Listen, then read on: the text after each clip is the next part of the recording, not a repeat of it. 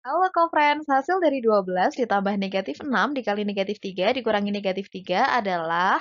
Nah, langkah pengerjaannya itu operasi dalam tanda kurung dulu, baru perkalian pembagian, baru penjumlahan dan pengurangan. Untuk aturan perkaliannya, positif kali positif hasilnya positif, positif kali negatif hasilnya negatif, negatif kali positif hasilnya negatif, negatif kali negatif hasilnya positif. Nah, kita punya aturan juga nih bahwa pengurangan adalah penjumlahan dengan lawan bilangan pengurangnya. Berarti A kurangi B adalah A ditambah lawannya B, yaitu negatif B. Dan A kurangi negatif B berarti A ditambah lawannya negatif B, yaitu B. Nah, sekarang kita akan mengerjakan yang mana dulu nih, friends? Berarti yang perkalian dulu ya. Negatif 6 dikali negatif 3, hasilnya kan positif. Berarti sama aja ketika kita menghitung 6 kali 3. 6 kali 3 berapa, friends? 18. Jadi akan kita hitung 12 ditambah 18 dikurangi negatif 3.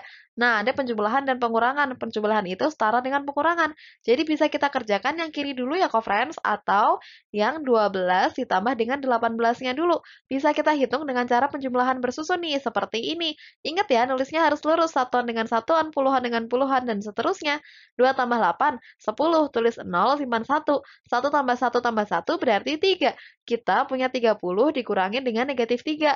Nah, ingat nih aturan pengurangan tadi apa? Kalau 30 dikurangi negatif 3 berarti sama aja 30 ditambah lawannya negatif 3.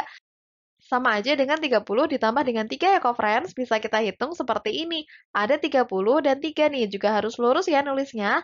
0 tambah 3, 3. 3 tambah 0, 3. Jadi jawabannya adalah 33 atau pilihannya adalah yang D. Yeay, kita berhasil ngerjain soal ini friends. Hebat banget. Kalau gitu, sampai jumpa di soal selanjutnya ya friends. Tetap semangat ya belajarnya.